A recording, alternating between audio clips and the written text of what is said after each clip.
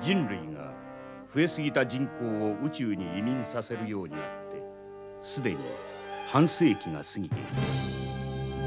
地球の周りの巨大な人工都市は人類の第二の故郷となり人々はそこで子を産み育てそして死んでいった。宇宙世紀0079地球から最も遠い宇宙都市サイド3はジオン公国を名乗り地球連邦政府に独立戦争を挑んできた。この1ヶ月余りの戦いでジオン公国と連邦軍は総人口の半分を死に至らしめた。人々は自らの行為に恐怖した。はい。皆さんこんにちは、ワナビルビシです。今回はスーパーファミコンの機動戦士ガンダム。クロスディメンション続きをプレイしていきたいと思います。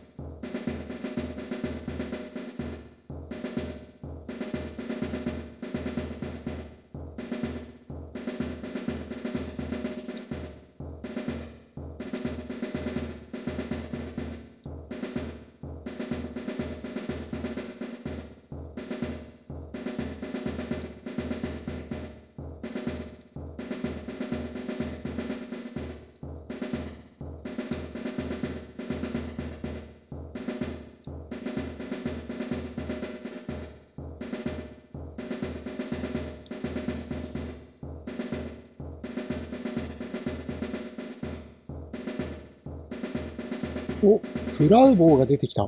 今までここセイラさんでしたけども、今ご覧いただいた通り、セイラさんが、えコアブースターで出撃するようなので、この装備の確認はフラウからの指示になるみたいですね。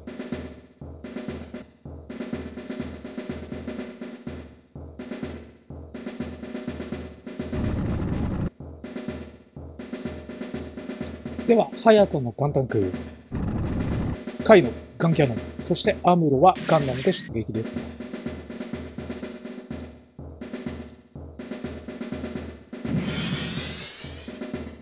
まあ、アムロはですね、前回のランバラル戦でかなり鍛えられてレベルが上がってますので、この黒い3年生相手でもなんとかね、跳ね返してもらいたいかなと思います。あ、セイラさんも行きますね。今までここはコアファイターのリュウが言ってましたけど、今回からセイラさん来てます。では、出撃をしていきましょう。えー、まずマップですが、旧マップになってますが、どこに3年生が潜んでるかわからない状況なので、あ、まずは無難にガンダムを進行させましょう。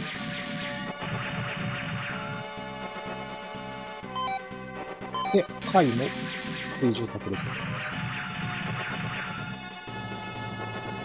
ちょっとまだどこにいるか全く見えてこないですね。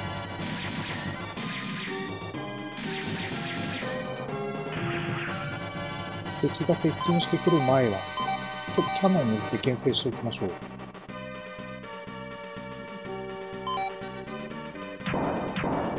このガンキャノンの、まあ、このキャノン砲ですね。これはおそらく弾が無限にあるっぽいので、森林をなぎ払っておきたいかなと思います。まあおそらくこのガンタンクも同じかなと思うんですよね、仕様はね。では、ガンダムをちょっとだけ先行させる。んいたな。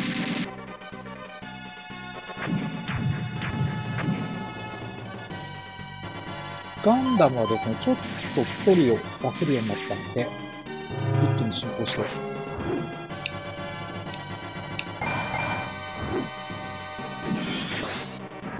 ンプ切りは強いな。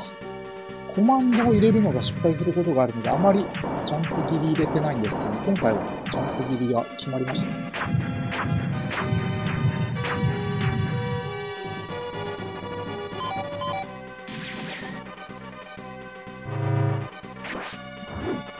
嫌いな結構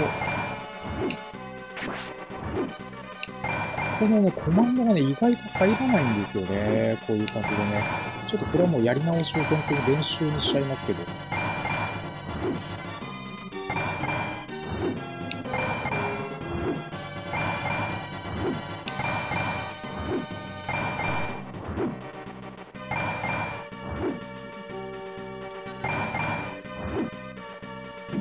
決まった。ようやく決まったなちょっとあれだな。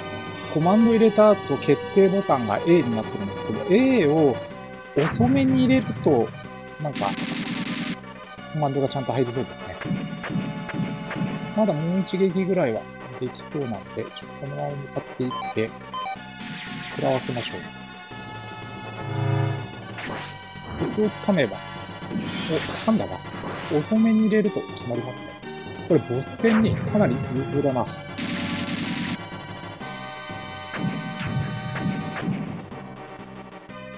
戦に有効なこのジャンプ切りのコマンド入れをマスターしておけば、この後の戦いが、だいぶ有利になりそう。うん、マスターしましたね。では、この調子でちょっと進軍をしていきます。結構、回のガンキャノンが強くなってきてですね、このグフ相手でも、ワンタンキルが、まあ、できるぐらいまで火力が出てきてます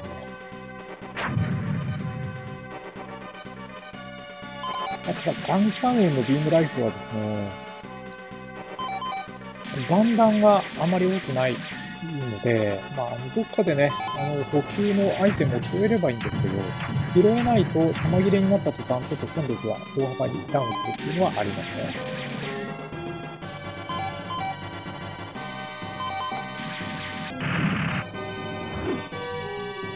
カイもやられた。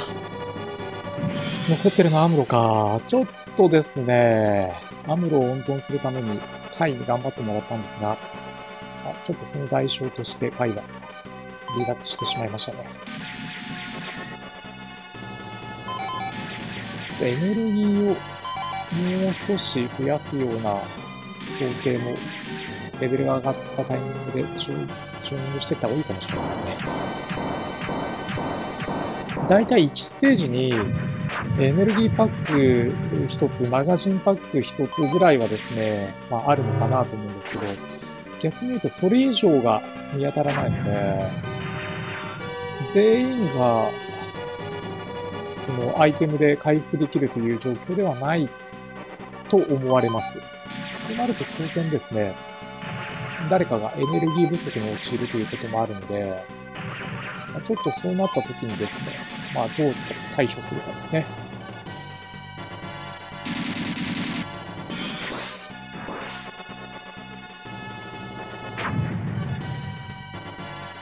お相当数のザクを撃破してイベントが始まりました。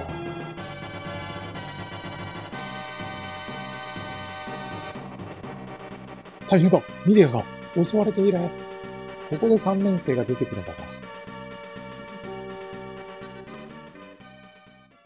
エネルギーはどうなんだか回復してくれんのかなこのままボス戦、まあ三連星戦となるとちょっときつい気がする。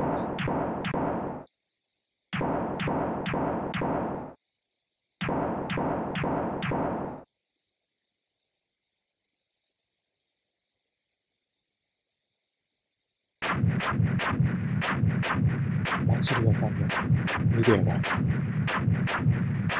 撃破されてしまいましたね。ちょっと原作とは展開がちょっと違うかな。ジェットストリームアタックを食らってるところをマチルダさんが、まあ、助けてくれて、オルテガか何かの、えー、どつきを食らって戦死しましたよね、実際ね。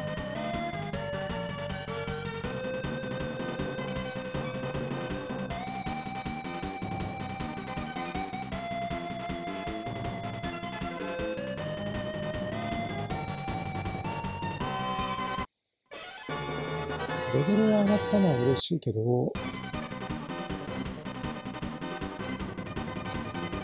どうなんだろう。エネルギーブックはもう今後のために増やしておきたいですよね。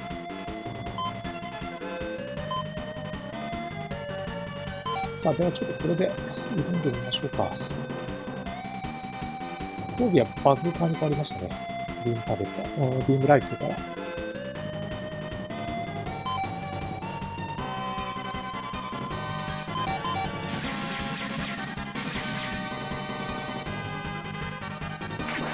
ジェットスリームアタックだ。まずは、隊長機を沈める。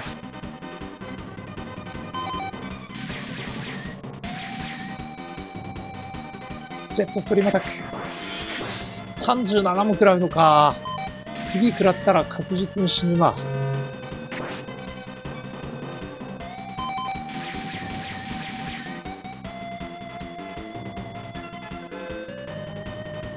なんとか残ってくれ。なあ、やられた。ちょっとじゃあまた戻ってきます。さては戻ってきました。まあ、前回はですね、この3年生戦の前のアムロの、まあ、ヒットポイントというか体力というか、まあそういったものがですね、100ぐらいしかなかったんですけども、今回はなんとか300残して、この3年生のところまでたどり着いたので、ここで決め切りたいですね。で、レベルもまた一つ上がってですね、あのー、ディフェンスのパラメータを上げてます。なので、3連戦の攻撃を、まあ、あわよくばかわしてほしいし、まあ、食らってしまったとしてでもですね、まあ、ちょっとでもダメージが軽減できればいいのかな、というふうに思ってます。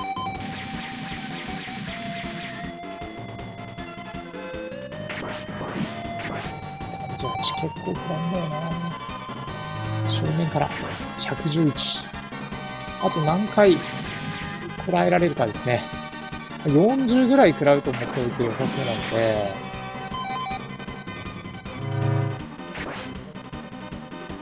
まあ、あと5回は耐えられるのかな。どっかに潜んでんのかな、3連戦は。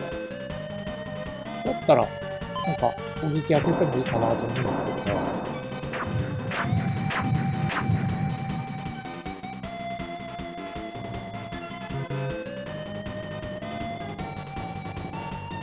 3回攻撃でどれくらいどこに相手がいるか分かれば。いなそうだな、3連星は。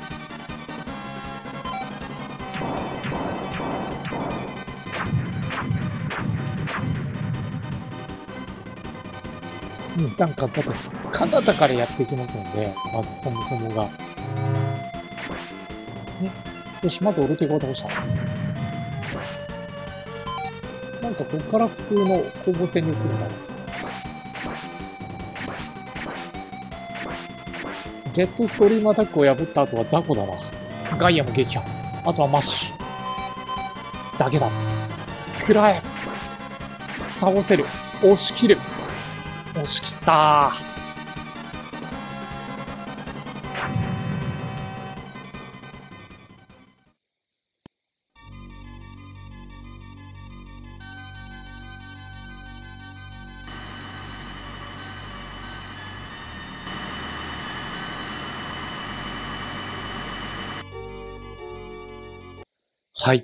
というわけで、アムロが、まあ、だいぶ強く、まあ、なってしまったって言ったらいいのかな。